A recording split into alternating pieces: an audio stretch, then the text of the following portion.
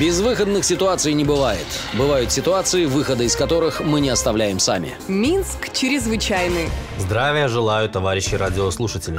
Минское городское управление МЧС на связи. В эфире Минск чрезвычайный. В студии Андрей Макаров, и мы начинаем.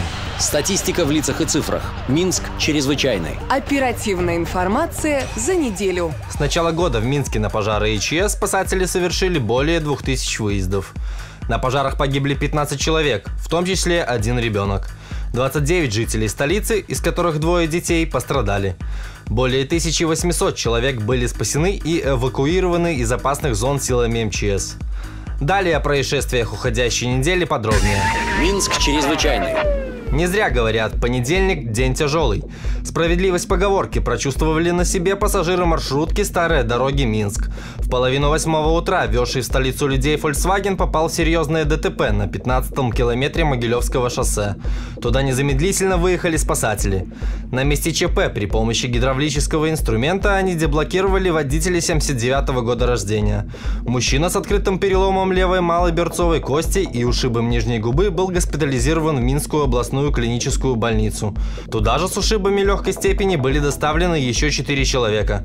Одного пассажира увезли в 10-ю городскую клиническую больницу. Еще двое отказались от госпитализации. Им была оказана помощь на месте. Всего же в маршрутном такси находилось 17 человек. Курьезным случаем отметилось утро вторника. На пульт диспетчера 101 поступил звонок от взволнованного мужчины. У него застрял палец в раковине. Недоумевающие спасатели выехали на место ЧП. Оказалось, что 40-летний мужчина проводил ремонтные работы в ванной комнате, в результате чего его палец застрял в отверстии умывальника. Палец работники МЧС при помощи специального оборудования извлекли. Мужчины его палец не пострадали, а вот раковину нерадивому мастеру придется заменить. Минск чрезвычайный. День знаний стал бы для спасателей относительно спокойным, если бы не ДТП, произошедшее в половину девятого вечера на третьем километре внутреннего кольца МКАД, возле съезда на улицу Карвата. Там столкнулись легковой автомобиль Lexus 2012 года выпуска и легковой автомобиль Toyota Avensis 98 года. В результате Toyota снесла металлические элементы ограждения МКАД и съехала в кювет. Водитель Toyota, женщина, оказалась заблокирована в искореженной машине.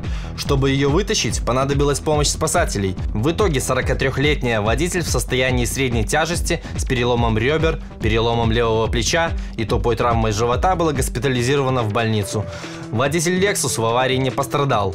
По его словам, Toyota резко перестроилась и коснулась Lexus. Ее водитель не справилась с управлением и машина врезалась в отбойник. Страшный пожар произошел в ночь с пятницы на субботу в пятиэтажке по улице Гуртьева. Когда к месту прибыли спасатели, из окна на четвертом этаже уже вовсю валил дым. Горела комната в двухкомнатной квартире на площади в 25 квадратных метров. Хозяин квартиры, пенсионер, уже находился на улице. Он не пострадал. Однако под угрозой оказалась жизнь еще семерых жильцов, в том числе двоих детей 6 и 2 лет и пенсионера. Он инвалид по зрению и опорно-двигательному аппарату. Работники МЧС со спасением людей и ликвидацией пожара с успехом справились. В результате в жилой комнате повреждено имущество, закопчена квартира.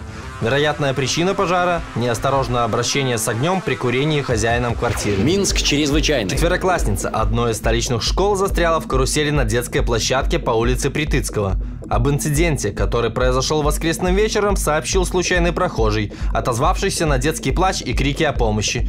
Спасатели, оперативно прибывшие на место происшествия, обнаружили, что таз девочки 2006 года рождения был зажат в кресле детской карусели. При помощи специнструмента работники МЧС четвероклассницу освободили. После осмотра бригады скорой помощи, не получившая травм девочка была отпущена домой. Не обошлось без пожаров и в воскресенье. Жители частного домовладения по переулку Торговый, заглянув вечерком в баню, так распарили, что устроили пожар. Горела деревянная обшивка парильного отделения на площади в 2 квадратных метра. Чтобы потушить пламя, хозяевам понадобилась помощь спасателей. В результате повреждена обшивка парильного отделения. Причина пожара – неисправность печи в бане. Ну вот и все о происшествиях на сегодня. Берегите себя и своих близких. А я с вами прощаюсь до следующего вторника. Пока. Безвыходных ситуаций не бывает. Бывают ситуации, выхода из которых мы не оставляем сами. Минск чрезвычайный.